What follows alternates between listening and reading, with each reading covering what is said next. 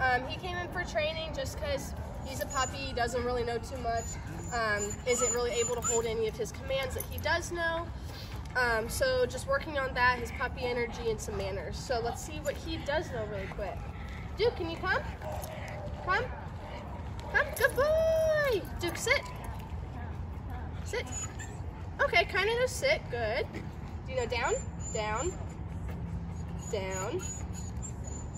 Down. So very distracted, obviously. Uh, let's see if he knows how to heel. Duke, can you heal? Heel. Heel. Nope, doesn't know how to heel. Very lost on what he's doing. So obviously we have some work ahead of us, so check back in in 15 days and thank you for choosing Bulletproof.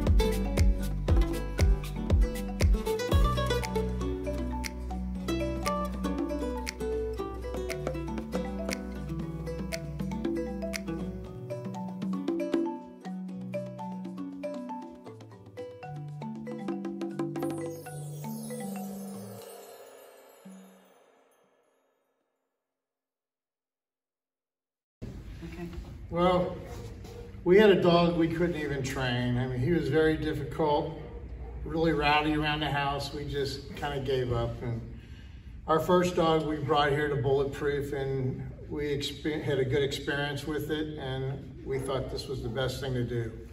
And we went on vacation for two weeks, and it's amazing how your dog is when you come back. so, There's Steve and Gina selling. So yeah, he's it's wonderful. Libby's done a great job on him. yeah, we highly re- recommend Bulletproof for taking care of your dogs and training them because uh, our first dog is three years old and still knows all the commands.